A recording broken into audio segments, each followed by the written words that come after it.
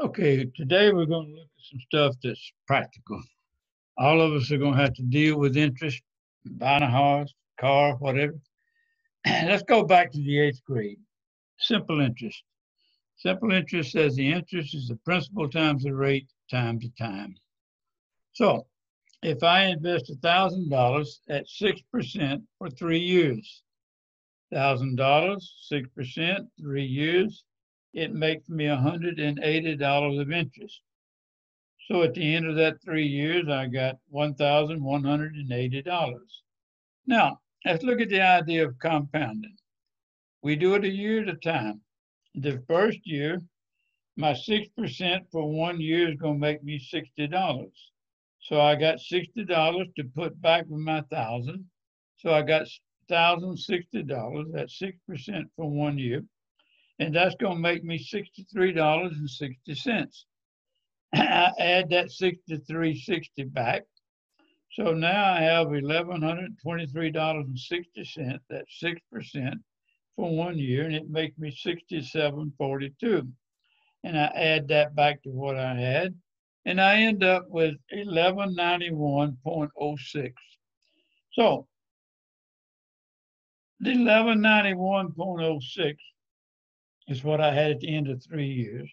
But when I did it for simple interest, I had 1180. And you say, what's the difference? Well, the difference is we made money on the interest that they paid us. The good part about it is that we don't have to do it step by step. We got a formula. The formula says the amount is the principal time one plus the yearly rate divided by how often it's compounded, and it's n times the number of years. So in our problem, we had $1,000 at 6%, and we were doing it annually, so I, n was 1. And then I got 3 times 1, and you pump this into your calculator, and you get 1191.02. Now, the reason is not exactly the same as my 1191.06, so we did some rounding off. So keep in mind that your compound interest means that you're getting interest on the money that you've been paid.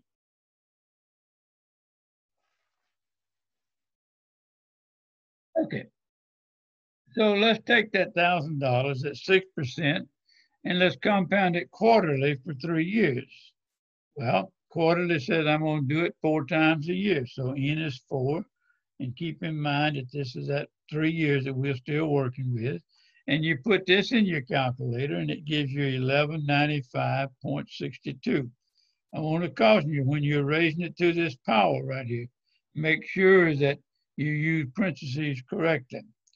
Now, let's take that same thousand dollars and let's invest it at 12 percent, uh, at 6%, but let's do it monthly, 12 times a year.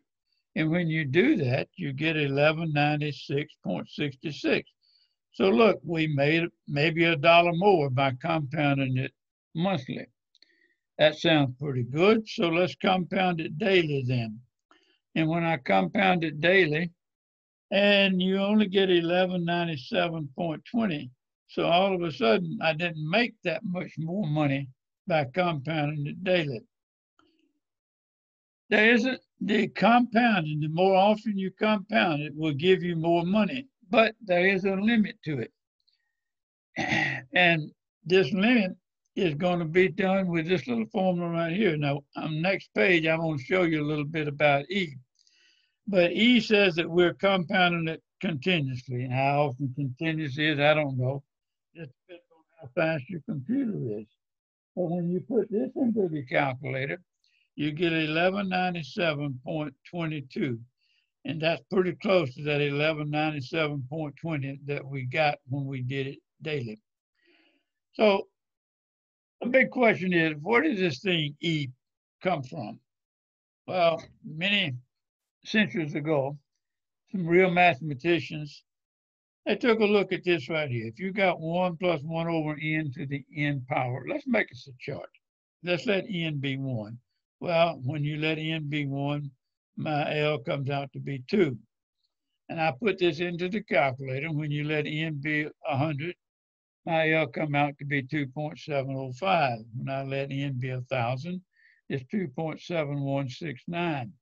When I let it be ten thousand, it's two point seven one eight one. And if you'll hit the E button on your calculator, do Shift LN, you will find that E is two point seven one eight two eight out to a few decimal places. Notice that E never, it is always continuous, it doesn't repeat. So what it boils down to then is that the original formula that we had, one plus R over N to the NT, that has the same pattern that this had up here. So the limit of that expression was E, and that's where he gets his little form, uh, formula from. The good part about it, all we got to do is just take each of these formulas and use them as necessary. If it's continuous, you're going to always do each formula. If it is compounded so many times per year, you're going to use this formula right here. All right, let's take a practical problem. How long will it take to double our money if compounded quarterly at 8%? Well, the only thing impractical about this is that you're not going to find any 8% interest rate. I use that so I can make my arithmetic easy. So we're going to double our money. So if P is my original amount, two times P is what we want to get. Well, this is an equation that P divides out. So I got 2 is equal to 1.02 to the 4t power. Now we're in trouble because 2 and 1.02, I can't get the same base, so I got to take the log of both sides. Log of this side, this is a power, so it comes out front. 4t times the log of this. Now, keep in mind that this log of 1.02 is just a number. So to solve for t, I divide both sides by the 4 and this. And when I do that, I come out with a nice little number of almost nine years. So at 8%, you could double your money in nine years. Don't hold your breath. You're not going to find anybody except maybe a loan shark that might pay you 8% or might charge you 8%.